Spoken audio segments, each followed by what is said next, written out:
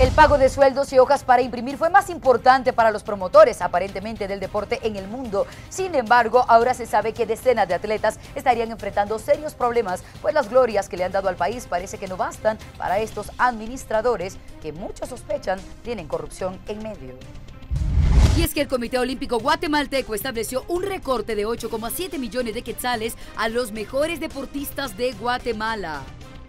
El dinero, según trascendió, sería destinado a un aumento salarial para las autoridades administrativas y algunas modificaciones al edificio que fue estrenado en 2011. Aunque no se sabe a ciencia cierta cómo el Comité Olímpico Guatemalteco decide cuánto invertirá en las federaciones, al parecer una medalla de plata no le resulta importante, pues la Federación de Atletismo a la que pertenece Eric Barrondo ocupa la casilla 4 de las prioridades de asignación. El decomiso millonario de cigarrillos en Guatemala fue solo la primera parte para las autoridades luego de una llamada delatora que evidenciaba lo que en realidad había dentro de este transporte pesado. Es que un camión cisterna no transportaba precisamente combustible, sino 3 millones de cigarrillos procedentes de Belice que ingresaron al país sin pagar impuestos. No obstante, poco después trascendió que entre los detenidos estaba un traidor, un hombre que debía buscar delincuentes, pero terminó convertido en uno de ellos. Cuatro custodios del vehículo fueron detenidos, pero uno de ellos era auxiliar fiscal de la Dirección de Investigación Criminal del Ministerio Público de la Libertad Petén. El hombre fue identificado como Hugo Orlando Cetina, de 32 años. Por error, dice un policía de Estados Unidos que mató a una persona cuya muerte hoy está generando una controversia. El hombre dice que intentó utilizar su arma paralizante, sin embargo utilizó una con municiones reales. El video muestra el momento en el que el oficial del condado de Tulsa, Oklahoma, grita varias veces y luego le dispara a Eric Courtney Harris, un afroamericano de 40 años, mientras se encontraba tirado en el suelo inmovilizado por varios agentes.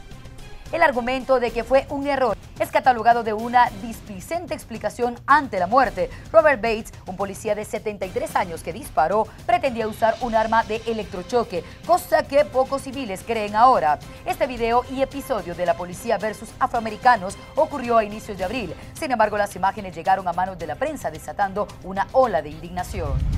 Y una vistosa venganza kurda contra yihadistas tuvo lugar cuando este grupo detectó un auto del enemigo, el Estado Islámico, y luego lo hizo estallar. El grupo de combatientes kurdos de Peshmerga se había desplazado por territorio iraquí en donde ubicó el vehículo y logró elevarlo por 30 metros de altura. Una vez en el aire detonó una bomba que causó el efecto esperado, la destrucción total del vehículo de la organización terrorista. Algunos analistas estiman que la venganza de ISIS podría ser igual o peor a esta escena. Un intento por convertirse en congresista quedó truncado para María Estela Alonso, actual pareja sentimental del alcalde de Misco, Otto Pérez Leal, y todo por aparentemente una traición dentro del propio partido. El pasado domingo en la Asamblea de los Partidos se dio una disyuntiva, pues presentaron dos listas diferentes para las postulaciones a congresistas en las próximas elecciones. En una figuraba la pareja de Pérez Leal y en la otra, que era encabezada por Goody Rivera, no aparecía que a la final fue la seleccionada. Según los presentes, Alonso y Pérez Leal se retiraron de la sede del partido en la zona 1 sin emitir comentario, pero era evidente que ambos estaban disgustados. Miles de brasileños volvieron a salir a las calles y esta vez en al menos 100 ciudades de ese país. Todo es para pedir que se acabe con la corrupción y también la salida de la presidenta Dilma Rousseff, que apenas acaba de cumplir 100 días al frente del país, claro, en su segundo periodo. La ancha avenida de la capital del país, sobre la que están ubicadas las principales sedes de los tres poderes del Estado, estaban abarrotadas por los manifestantes. Sin embargo, pese a que la popularidad de la presidenta está en un mínimo histórico, con poco más de 100 días de su segundo mandato de cuatro años, el número de quienes piden su renuncia ha disminuido. Las protestas fueron convocadas en las redes sociales por movimientos que se dicen independientes de los partidos políticos. Para la mayoría de seres humanos, armar un cubo Rubik es toda una hazaña. Pero ¿qué tal a partir de estos cubos armar lo que parece una caricatura? Eso hicieron con una gran inventiva y un tema muy asombroso. Vean esto. Este segmento es presentado por Grupo Cofisa. Grupo Cofisa, un paso adelante. Es asombroso. ¿Adivinas qué se puede hacer con 1300 cubos de Rubik? Un espectacular video animado. Aunque algunos somos incapaces de resolver un cubo de Rubik, aquí veremos a alguien que con casi 1300 de estos juguetes es capaz de componer un video con la técnica de stop motion y el resultado es algo asombroso.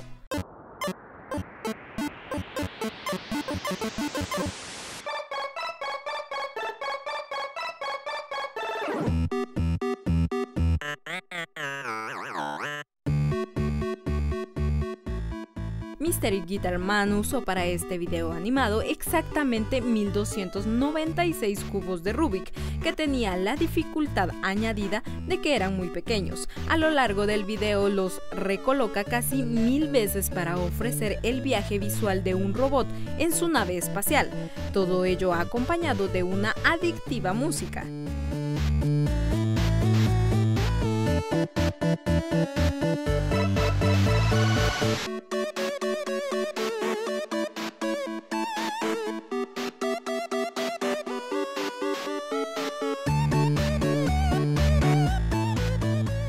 Pero este video no solo sirve para que lo disfrutemos una y otra vez, sino para conseguir recaudar fondos para Médicos Sin Fronteras.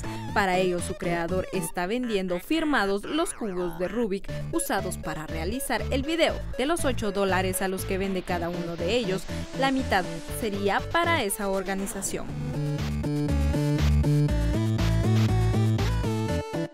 Anaite al límite. Es asombroso. Este segmento fue presentado por Grupo Cofisa. Grupo Cofisa, un paso adelante. Al parecer el altruismo también es parte de la genialidad y del eh, tema humano, que es lo que ahora mismo trasciende en este tipo de inventivas. Esperamos que pronto ellos puedan llegar al cometido, ya que la tendencia de hacer algo con el cubo Rubik está ahora en auge. Hay más. Y ahora quiero contarles de un chico que apenas está aprendiendo a hablar, pero ya es todo un DJ. Se ha convertido en un tema viral en las redes sociales gracias a su gran capacidad.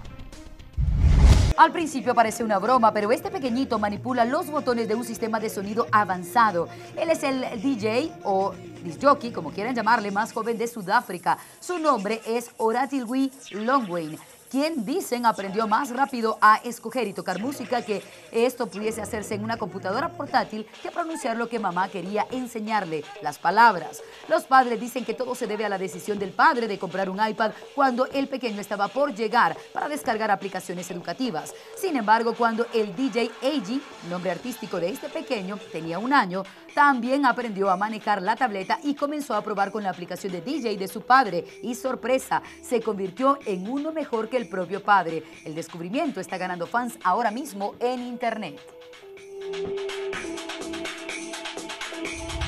El año pasado nos enteramos de la trágica muerte de una niña cuyo secuestro había sido frustrado y el hombre que la había secuestrado la enterró en su misma escuela. Hemos regresado a ese lugar, hemos hablado con la mejor amiga de esta pequeñita y con sus profesores que aún hoy lamentan su partida. Y finalmente celebraremos el Día del Beso, un día internacional. ¿Cuáles son las tendencias y qué podría pasar a partir de ahora? Les contaremos. La belleza es mucho más que arreglarse bien, es necesario cuidarse por dentro y por fuera. Olmeca Light, ahora con té verde. Olmeca Light garantiza que estarás consumiendo así el mejor producto del mercado, el mejor para ti y para tu cuerpo. No hay más que decir, cero colesterol para cuidarte de adentro hacia afuera.